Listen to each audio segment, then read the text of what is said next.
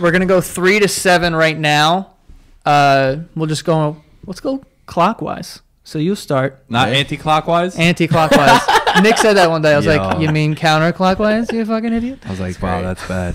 So who's your who's your number three quarterback? How about seven? You want to go down? Oh, you want to go from seven? Oh yeah, we should do that. I like that's horny.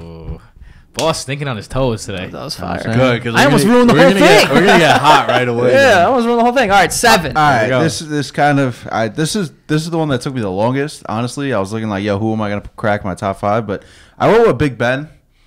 Um, he wasn't. He hasn't been all you know the greatest the last couple years. He's a Hall of Fame caliber quarterback, but Fuck yeah. he has the weapons around him that allowed him to succeed. I think. Usually, you say like, "Yo, that guy can throw anyone open."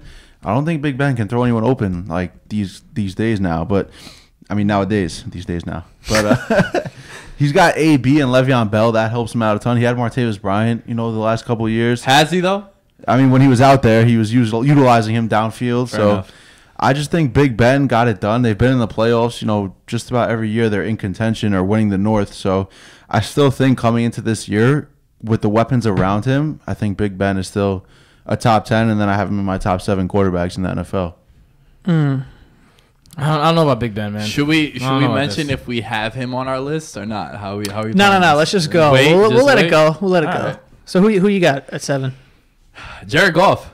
Stop. I knew he was gonna put him on this list. I knew it already. What you don't like Jared Goff? it's just how can you say Jared Goff That- already?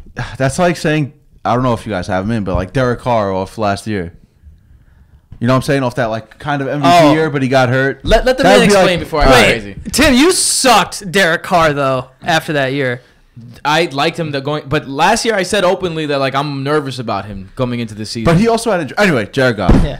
Jared Goff, 28 touchdowns, seven interceptions last year. I'm completely throwing away year one of his NFL career because he had Jeff Fisher, the quarterback killer. I feel like Right? every stat should have an asterisk that says Jeff Fisher coach. He was season. coaching at Yeah. the time. Yo, think about it though, right? Case Keenum had a career year last year. He was away from Jeff Fisher. Nick Foles ends up winning a Super Bowl as a backup quarterback. Doesn't have Jeff Fisher, and and Jared Goff goes from a guy that didn't know where the sun rose and the sun set on that. Oh my on that God. Hard Knocks, right? He's an idiot. and, and then, yeah, and then everyone's saying he's a bust, number one pick.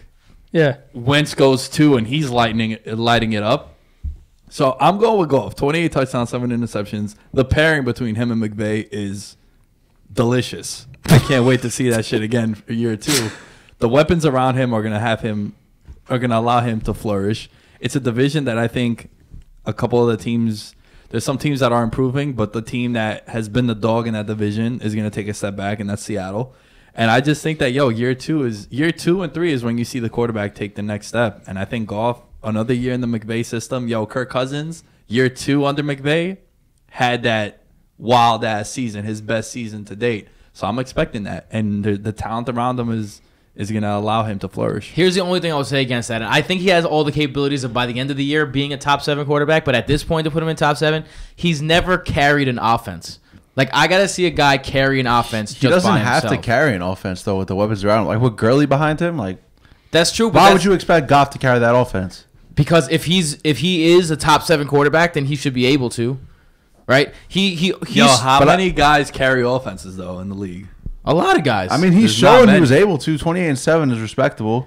but he's he. All right, the Rams threw the twenty fourth more pa- most passes in the league last year. Because they don't have to. They don't have to throw. I before I put a guy in my top, I'm trying to see him at least carry an offense at the rate of like a 60-40 split or a 55-45 split. I don't want to like. I don't want to use the term. I will. But use if it, your team is winning, it's like a victim of circumstance. Like that's that's that's I- what but- he has. So he has the one of the best running backs behind him. Why not utilize him? I don't think he's top seven. But What about Mark Sanchez? Mark Sanchez had those great years where he had Come he had, on, man. He like he had under under double Pump the brakes, bro. Exactly though, but he had under double digit in in interceptions. He had over twenty uh, touchdowns thrown, and so what happens? You give him more of that like shouldering the load, and he can't handle it. And I need to see Goff handle it before I can put him in the top seven. Yo, by the way, the Mark Sanchez comparison awful. Yo, because he's- I'm not comparing the two. No, I'm no, saying. two you're- yard passes. You're mentioning the scenario, right? Rex Ryan was not an offensive mind like McVay was. All the weapons that the Jets have were pretty much out the door because they were up in age. well, Mark Sanchez was okay until they stripped him of his weapons.